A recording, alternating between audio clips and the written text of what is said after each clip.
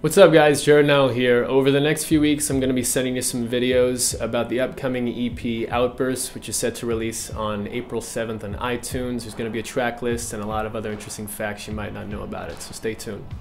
Uh, the name of the record is Tell Me What You Want. Tell Me What You Want is, uh, as, as an artist, I kind of find it's important to, you know, leave everything open to interpretation of the listener. But as far as I'm concerned, Tell Me What You Want is just a, it's a, it's a message of gratitude all the good and bad things that have happened to me to get me to where I am because everything that happened was necessary. And uh, there's been a lot of people who have, have, encouraged me and the constant support from you know my friends and family and fans and everything and uh, they they sort of they're responsible for for what I'm doing right now and uh, so tell me what you want is sort of a message of thank you for getting me to where I am and how can I repay that.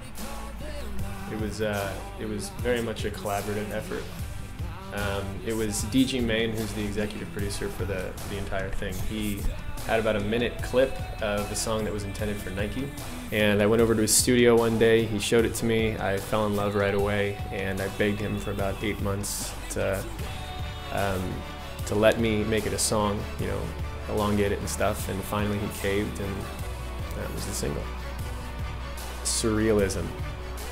That's basically in a word what I can describe when talking about hearing it for the first time. Uh, I had dreamed since I was like, I don't know how long, like 12, 13, you know, doing uh, cover songs from Jimmy World stuff. I, would always dreamed of, you know, hearing myself on the radio like those guys and all those people that I grew up listening to and the people that shaped my music since I was so young. So to actually hearing myself through speakers in in the way that all my favorite bands have have I heard them that way. I mean, it's it's it's something every musician I feel like dreams of, you know, coming into fruition, stuff like that. So for me, it was it was very surreal.